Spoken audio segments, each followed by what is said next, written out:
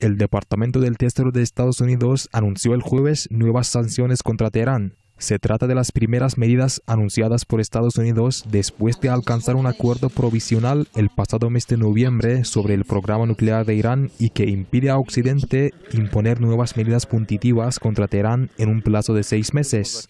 El alto negociador nuclear iraní Said Abbas dijo que la medida contradice el espíritu del reciente acuerdo. Afirmó que Teherán estudia la situación y dará una respuesta adecuada.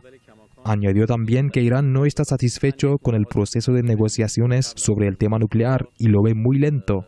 Por su parte, el presidente del Parlamento iraní, Ali Larijani, calificó de inaceptable que Washington no cumpla con el Acuerdo de Ginebra. Dijo que los occidentales están preocupados por los logros nucleares de Irán.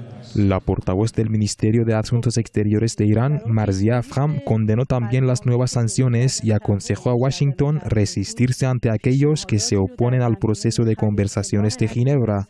Por otra parte, la vocera del Ministerio de Asuntos Exteriores de Rusia, María Zakharova, dijo que las nuevas sanciones pueden complicar el logro de un acuerdo completo sobre el programa nuclear de Irán.